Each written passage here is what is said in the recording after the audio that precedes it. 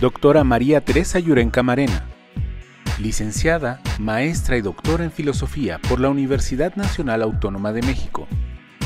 Es profesora de tiempo completo en la Universidad Autónoma del Estado de Morelos. Es integrante del Sistema Nacional de Investigadores. Es miembro del Consejo Mexicano de Investigación Educativa y de la Red de Investigadores en Educación y Valores, Reduval. Sus líneas de investigación son formación sociomoral, valores y diversidad, procesos y dispositivos de formación convencionales y no convencionales, y saberes y filosofía en el campo educativo. La responsabilidad del filósofo en la transformación de la realidad. El trabajo que puede hacer el filósofo eh, puede ser eh, de cierta forma eh, una manera de ayudar a otros a concientizar eh, su propia actuación. La filosofía de la praxis, tal como la planteaba eh, Sánchez Vázquez, es eh, más fructífera cuando puede insertarse en las prácticas. Y bueno, de eso se trataría, de hacer una filosofía sobre una praxis, en este caso, ¿qué praxis? ¿De cuál praxis hablamos? pues hablamos de las prácticas sociales que tenemos día con día, esas prácticas que están construyendo las estructuras del presente que les vamos a heredar a las generaciones futuras. Te pongo un ejemplo simple, el de eh, dividir la basura para favorecer que los desechos eh, sean clasificados más rápidamente y eso permita eh, pues mantener eh, mayor, menos contaminación al menos en el planeta. cuidar el agua, por ejemplo. mostrar afecto y respeto por los más vulnerados en nuestra sociedad. Eh, en fin, hay una serie de prácticas que van constituyendo estructuras del futuro y que eh, se, en la medida en que se van repitiendo y se van difuminando, se van multiplicando, van transformando estructuras. De la misma manera, prácticas de, eh, prácticas de derroche de, de los recursos naturales esas prácticas las hemos tenido muchísimo, pero yo creo que se dieron mucho desde, desde finales de la guerra, después de la Segunda Guerra. Eh, en las clases medias, pues se dio una cultura del derroche muy, muy clara y nadie tenía conciencia de, de, que el agua tenía que cuidarse, de que no podíamos tirar los plásticos en cualquier lado, de, en fin, no, no sabíamos, no, teníamos claro eso, y entonces se dio esa práctica del derroche que yo le llamaría. Ahora hay otras prácticas, las prácticas del consumismo.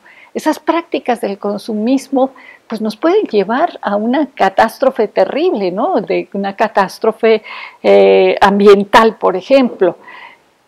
Pero por el contrario, otras prácticas que actualmente son de pequeños grupos, pero que pueden ampliarse poco a poco, esas prácticas pueden contrarrestar estas otras prácticas. Entonces, ¿para qué sirve esa filosofía de los valores? Sirve para ayudar a concientizar, para dar pistas, pautas que ayuden a que las prácticas se transformen y al transformar las prácticas transformamos la realidad. La filosofía por sí misma no cambia las cosas. Eso lo decía muy claramente Sánchez Vázquez. Cuando hablo de filosofía de la praxis no estoy hablando de que la filosofía transforme la realidad.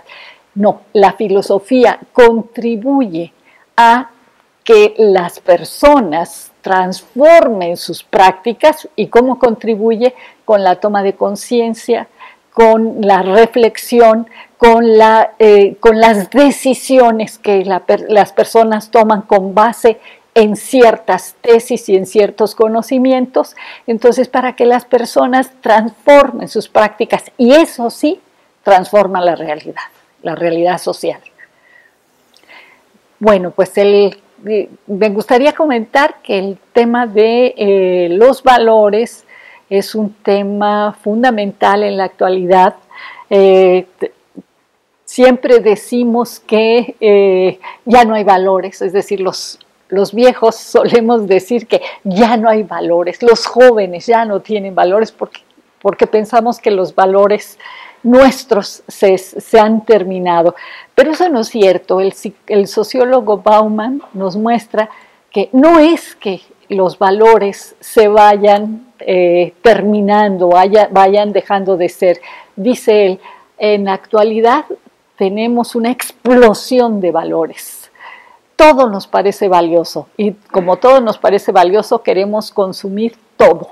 Y entonces hay una tendencia al consumo que se que se ve desgraciadamente en todas las clases sociales, porque por la vía de los medios y de la publicidad, pues también se convierten en objetos necesarios cosas que son totalmente innecesarias, pero todos queremos consumir. El problema de los valores actualmente, dice Bauman, es que no sabemos distinguir el oro de la, de lo demás. ¿sí? Todo vale igual.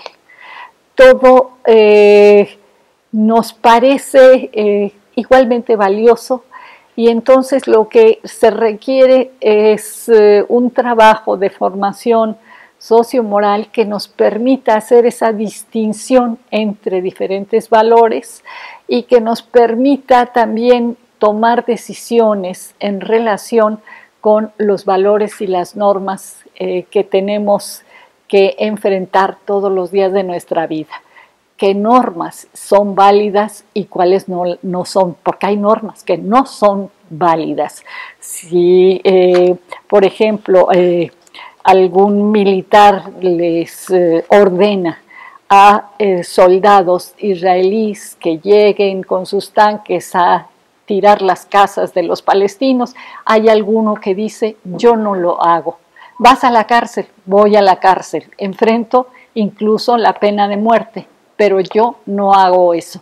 Es decir, eh, eso, eso sería justamente la moralidad, la posibilidad de distinguir entre diferentes valores y tomar decisiones al respecto.